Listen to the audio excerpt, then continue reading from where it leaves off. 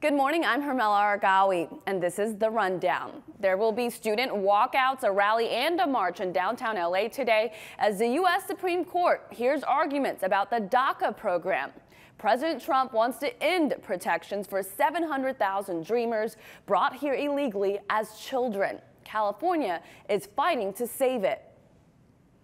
Violent end to a pursuit in downtown LA. Police say a food delivery car was stolen yesterday after it was left running.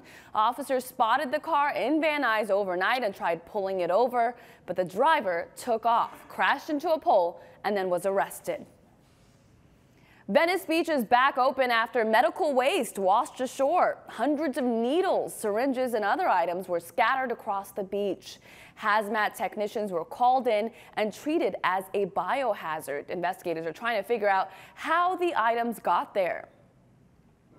Amazon is headed to Southern California. The tech giant plans to open its first grocery store in Woodland Hills. They say the new store will be different from Whole Foods. It's planned for next year, but Amazon is already hiring.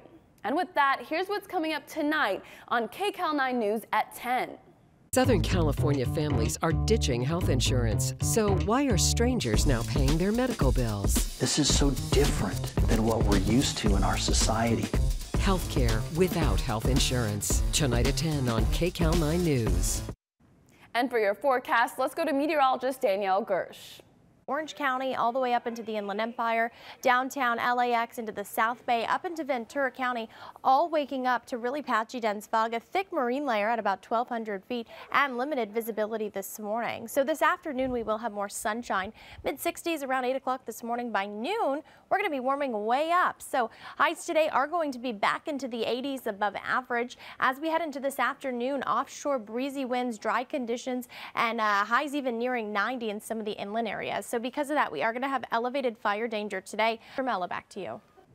Remember, we're always streaming 24-7. You can find CBSN Los Angeles on CBSLA.com and the free CBS News app. I'm Hermela Aregawi.